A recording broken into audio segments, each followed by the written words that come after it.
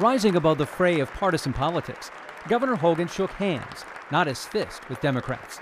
Most agree the governor strives to find middle ground to resolve issues important to the state.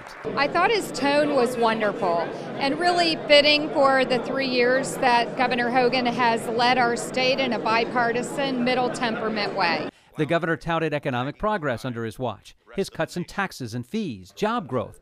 Looking ahead, he urged passage of his ambitious legislative agenda.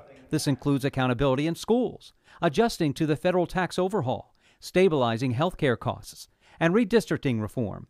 He reminded legislators how working together gets results. We worked hard to usher in a new spirit of bipartisanship in Annapolis and to create an environment of trust and cooperation where the best ideas rise to the top based upon their merit. He's genuine. He cares about people. I thought the way he uh, got across the uh, the opioid epidemic uh, with the with the parents up there was genuine. Hogan singled out the family of U.S. veteran Chad Dolch.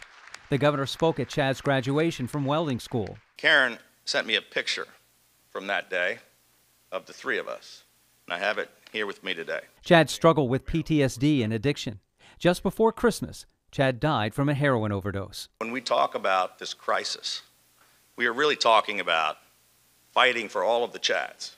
The city delegation remained seated when the governor talked about his crime fighting initiatives. Uh, when he talked about murder and violence, he talked about changing sentencing.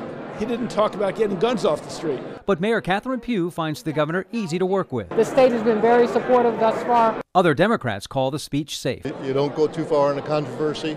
Uh, you praise everything that's good, and you forget a few of the things not going well.